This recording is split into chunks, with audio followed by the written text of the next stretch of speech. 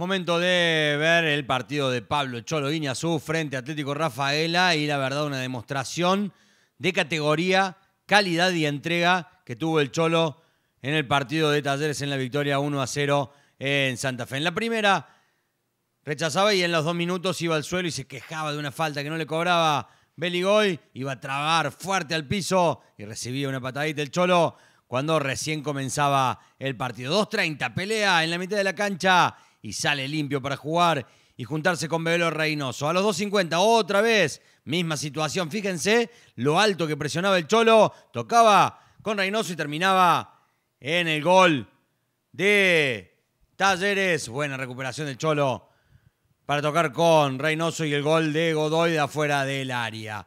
Nuevamente a los 5.40, tocando en la mitad de la cancha y siendo la salida limpia del conjunto albiazul cuando tenía que tirarse atrás y cerrarlo hacía como a los 6.45, cuando tenía que ir a presionar acá, fíjate lo que hace el Cholo a los 10 minutos en la mitad de la cancha, otra vez a los 12.50 va al piso, no logra la recuperación, pero siempre ahí, mordiendo los tobillos de los rivales, tirándose por izquierda cuando lo necesitaba, junto con Godoy.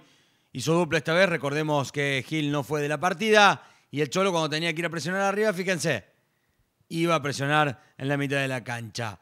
Cuando había errores en su defensa, trataba de cerrar en la mitad, se tiraba al suelo y la pelota no conectaba a él, pero él estaba parado donde tenía que estar. Nuevamente presionando más adelante del círculo central y aquí saliendo con un caño espectacular a los 18.35, saliendo muy limpio para juntarse con Bebelo. El Cholo contagiaba a todo su equipo. Hermoso caño que mete en la mitad de la cancha para salir jugando con la pelota. 3 de 2 para tocarle al costado derecho a los 19 minutos y otra vez siendo limpio a los 20, teniendo que retroceder, teniendo que encontrar la marca.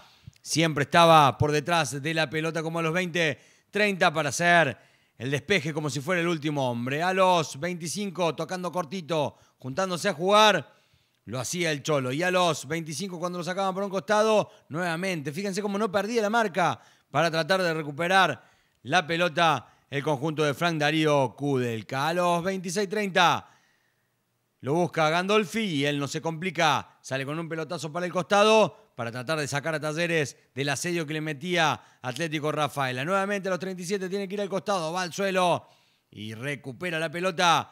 Fíjense, limpio, va a la redonda.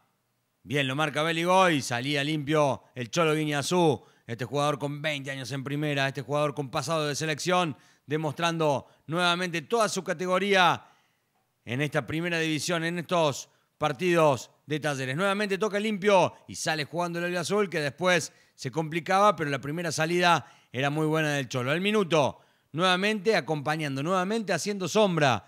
No es tan solo recuperar, sino también tratar de cortar los circuitos de juego del rival y aquí sí lo hacía. A los tres, nuevamente tocando para el costado y mostrándose como opción.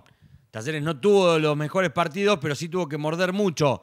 Y en esto, el primer abanderado fue Pablo Cholo Iñazú en los minutos que jugó. Nuevamente siendo al costado, nuevamente perdiendo, pero nuevamente estando bien cerquita de la marca. Y en esta los seis, tocando por el costado, saliendo limpio, fíjense. La pierde Talleres y vuelve otra vez a ponerse en posición. Va para la derecha, izquierda de su defensa y otra vez en la mitad de la cancha para cortar así. Al costado, yéndose el piso y recibiendo los aplausos de su hinchada se quejaba porque decía que había rebotado en el jugador de Atlético Rafaela. Nuevamente, llevándolo hacia el costado, llevándolo hacia el lugar difícil al jugador de Rafaela, tirándose al suelo en esta no podía cortar, pero era bueno el trabajo que hacía en la mitad de la cancha. De tiro libre a los nueve lo buscaba a Clusenar para tratar de aguantar y que los minutos pasen y en el rebote nuevamente yendo a la mitad de la cancha para tratar de raspar y morder. 10 minutos del segundo tiempo. Va hacia el costado, intenta ayudar en el costado derecho y rechaza con su pierna izquierda para que Talleres saliera. Talleres no sale, pero fíjense por dónde termina la jugada y quién va a aparecer. Otra vez el Cholo Guiñazú.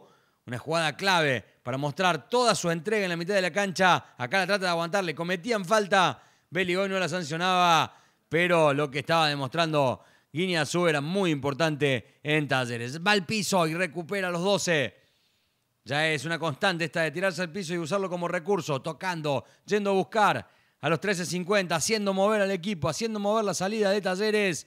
El Cholo es siempre la alternativa, la primera alternativa que en esta iba al suelo y otra vez recuperaba y nuevamente al suelo y esta vez llegaba la sanción del árbitro del partido y la tarjeta amarilla para condicionarlo a los 15.50 recibía esa tarjeta amarilla y por eso Fran Darío Kudelka va a decidir que después de esta amarilla se terminará el partido para el Cholo a los 19.35 que se va a ir reemplazado por Rodrigo Burgos. Muchos aplausos para el capitán de Talleres, este capitán que está rindiendo muy bien en primera división con el equipo del Azul en los últimos partidos, siendo el estandarte, se va el Cholo.